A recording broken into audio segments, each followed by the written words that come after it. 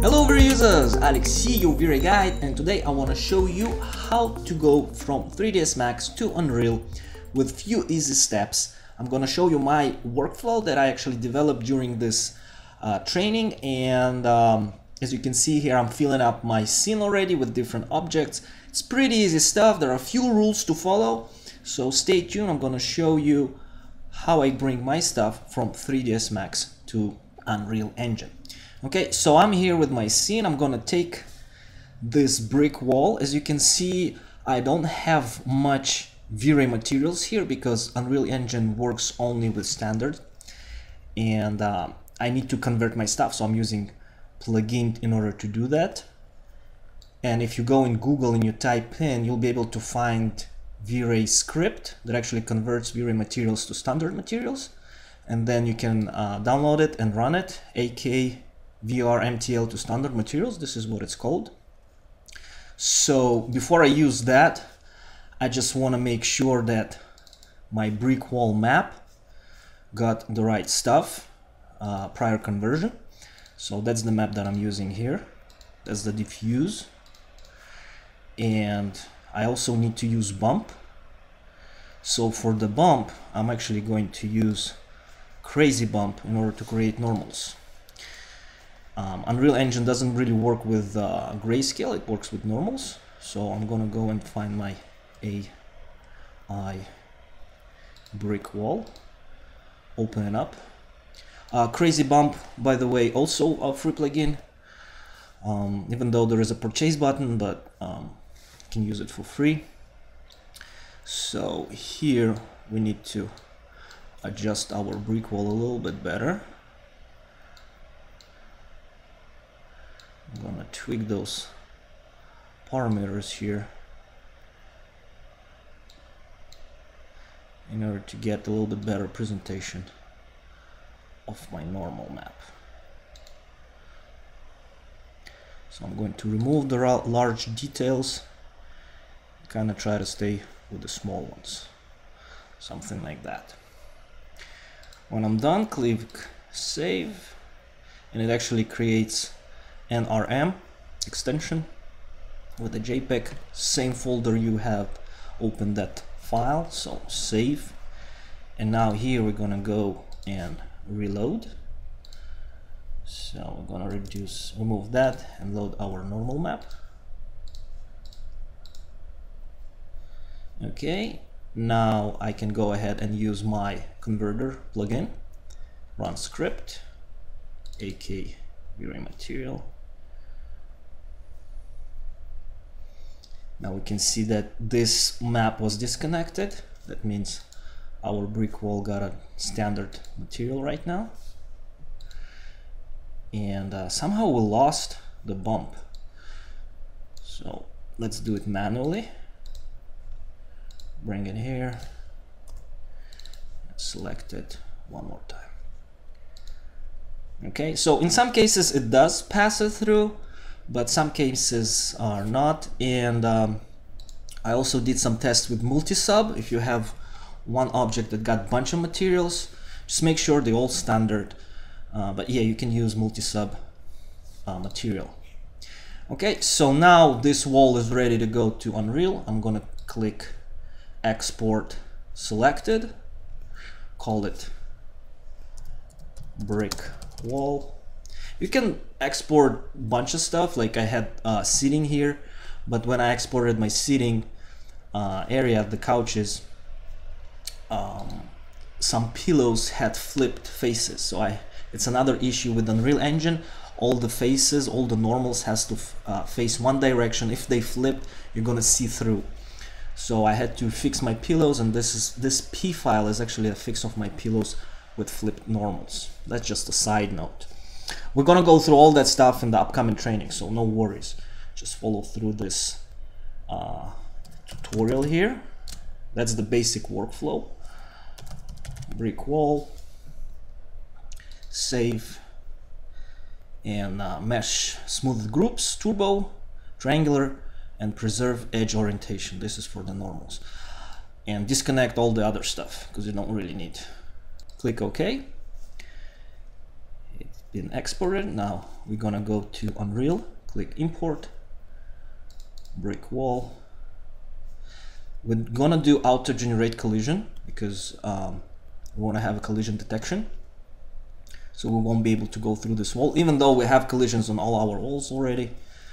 I'm gonna click this guy on and uh, disconnect combine meshes if you have it on. Click import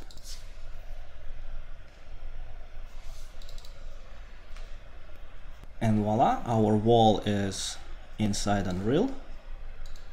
Now we can go ahead and drag and drop it right here and position it.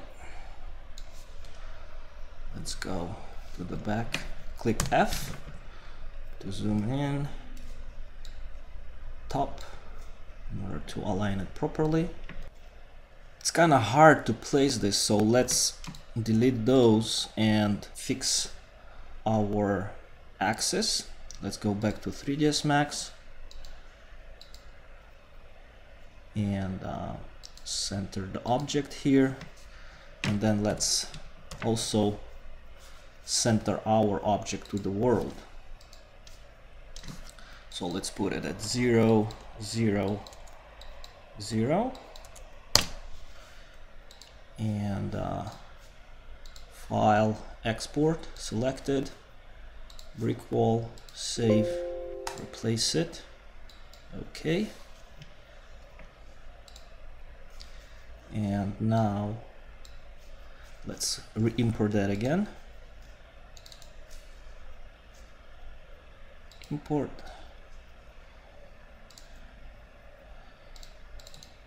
Here we go. Now let's drag and drop it here can see the orientation is much better. It's much easier to place it now. So uh, let's go place it on top.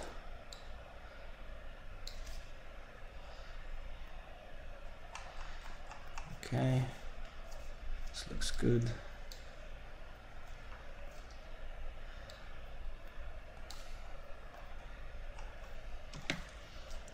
And now left side. All right perspective. Let's fix that here. Like that. F. Okay, so it looks pretty good. Okay, now if we go to our material here, you can see we've got our normal as a bump and our texture here. So let's add some values of specular. I'm actually going to click one and left click, create that numeric value, connect it to specular, increase the specular amount. Yeah, something like that. Now, roughness is actually the reflection. So let's give it just a slight reflection. Let's click one again left click. Roughness. When it's zero it's pretty reflective.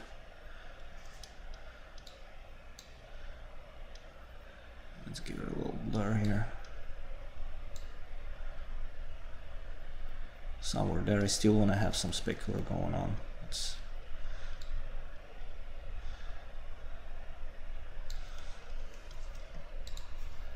Okay, let's click save, see how this works.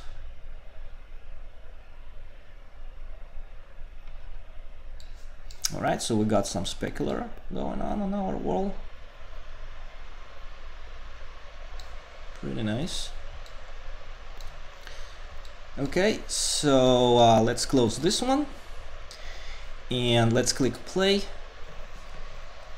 Let's see what we've got here. Last night I was working whole day trying to get those textures right. I also worked on the water. Unfortunately, uh, there is no good tutorials, so I was trying to figure it out. But you can see my water is moving, and it's got pretty cool values here.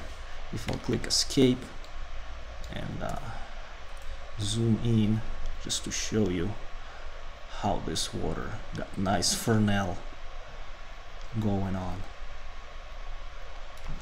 Alright, so if we click play, we can move around, put collision detections everywhere. I also played with lights. You can see the lights actually creating a really nice lens flare here. Same thing goes with the sun. And I made some collisions so I can go up. Pretty soon I'm gonna start filling up this room with furniture and I'm gonna add some trees and show you some other materials that can be done. And uh, let me show you one last thing. We have here a bunch of cool stuff. It's so cool. Let's add some spotlight somewhere here. Put it up. And uh, let's actually take values of that warm light. Copy. Paste. Cone angle.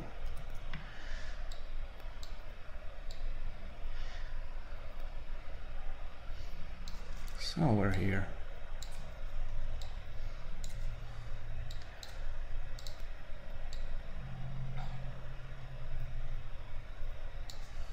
Alright, now let's click play. And we're getting message that we need to build the light.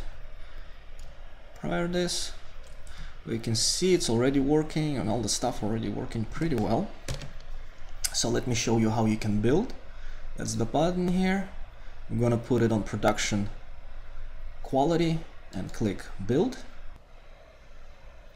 Alright, so our build was complete. We got some little issues here but uh, with overlapping maps, but it doesn't really prevent us from running this thing.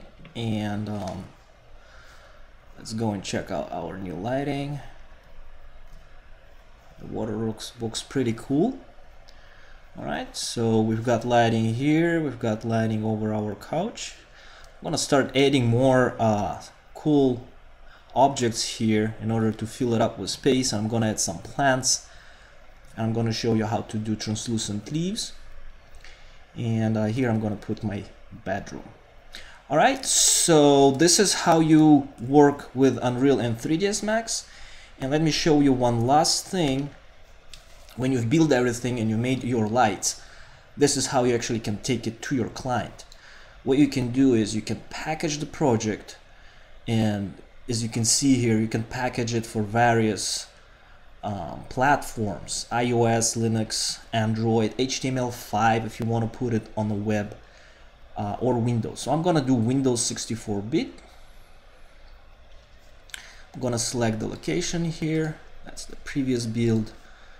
I'm gonna delete it so uh, let me actually put it here in loft Unreal Projects loft select folder alright so the build was done and let's go to our Unreal project.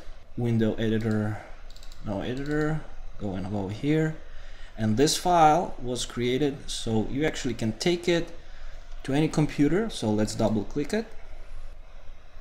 Boom voila our scene is all up and running in a high definition full screen so now you can really appreciate the quality of the textures and all the materials here. The brick wall. Okay so this is even prior our V-Ray baking method. When we're gonna bake the V-Ray lighting into the textures, this is where the biggest impact gonna happen. Okay, so now I showed you this entire workflow from going to 3ds Max to Unreal. More stuff we're going to uncover in the upcoming training. I hope you like this tutorial. Share it with your friends. This is Alex, your V-Ray guide. Ciao.